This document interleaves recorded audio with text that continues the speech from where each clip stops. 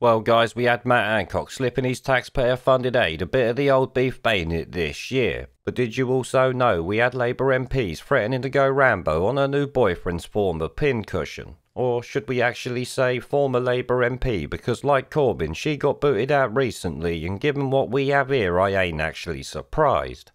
Some of you might remember Claudia Webbe, one of Corbyn's acolytes, spouting their kinda gentler politics a few years back. Well, it was kind and gentle until she gets worried that you might take her bloke back, it would seem. I say this because it seems she's just been convicted of harassment, threatening acid attacks, and even threats to expose private pictures of this woman's axe wound to her own kid. Clearly, Claudia sounds like a lovely person if you look past her being a bit partial to threatening acid attacks and sending pictures to people's kids.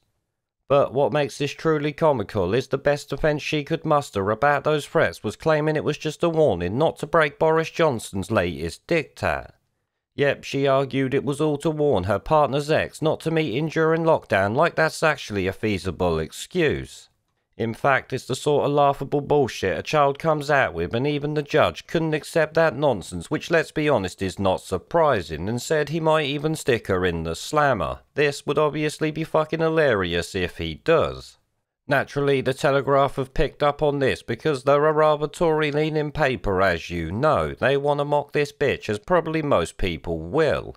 It is, like I said, pretty funny that she's actually been convicted of all of this, and like it says in the headline, to her partner's ex girlfriend. It states MP Claudia Webbe could be jailed after conviction for harassing partner's ex girlfriend. Former Labour MP, described by Jeremy Corbyn as of good character, threatened to carry out acid attack and send out naked pictures of victim.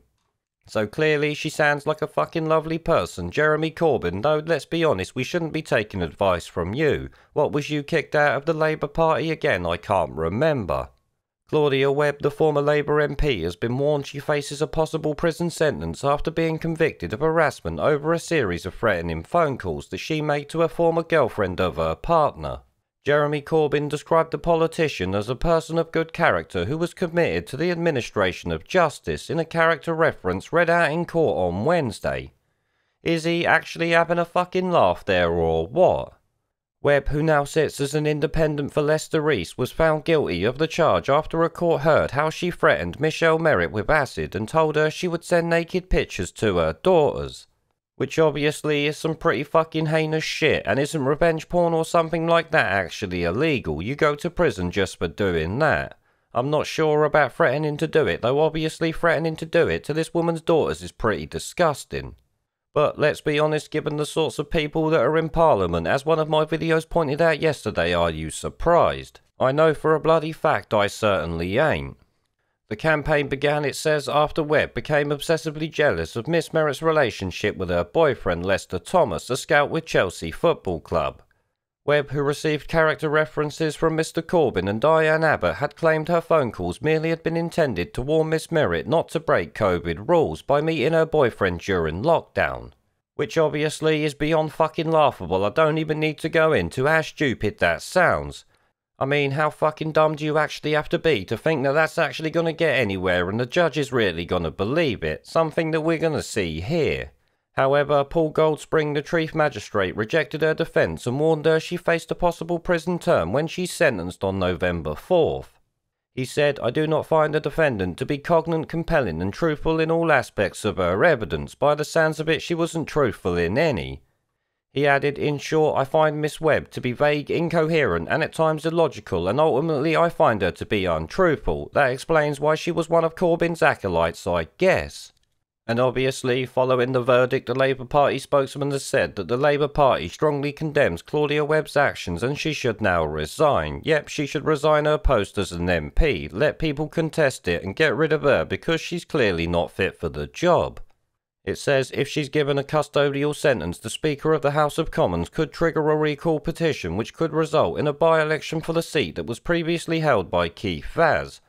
It goes on, Webbe said she was deeply shocked at the verdict and intended to appeal. Given your defence, I'm really not shocked at the verdict. The MP claimed she had only spoken to Miss Merritt out of courtesy to warn her not to breach COVID rules by meeting her partner during lockdown. Yep, it was a courtesy to threaten and throw acid in her face, I guess. What the actual fuck is wrong with this woman here? She must be out of her bloody mind.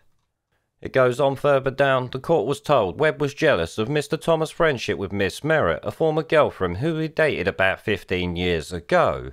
She was accused of making a series of silent phone calls to Miss Merritt from a withheld number. However, the court heard the harassment had escalated on Mother's Day 2019 when she spoke to her on the phone, called her a slag and threatened to send naked pictures and videos of her to Miss Merritt's daughters. This obviously has me questioning how this woman has naked pictures of another woman on her phone ready to send to people's daughters. It also makes you wonder how stupid Claudia Webbe's really gotta be to be threatening revenge porn and shit like that. Wasn't she in Parliament when they pushed these laws that said you can't be doing this shit? Maybe not, she might have been a new intake, who knows? Does it even really matter at this point? She's likely to be booted out very shortly, I would bet. It actually says it here, it's not clear whether she was in possession of any images, but threatening revenge porn was outlawed following a change in the law earlier this year, so she was definitely in Parliament when it was done, though this is obviously before then. It says Miss Merritt reported the matter to the police in April 2019 and Webbe was warned by the police. Despite the warning, the MP made a further 16 calls to Miss Merritt, who was recorded one of them, which was later played to the court.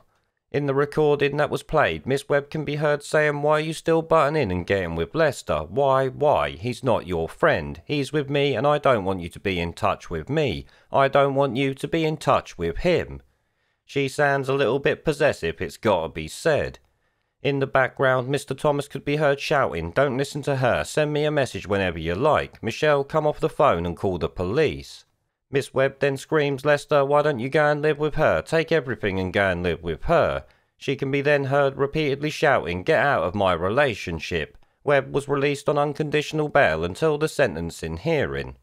Which I have to say, the end bit there makes me think like she's got herself a little bit of leniency there, some special treatment or some shit like that. Everyone I know that's been sentenced at a magistrate's court has been dealt with there and then and usually sent to the shitter.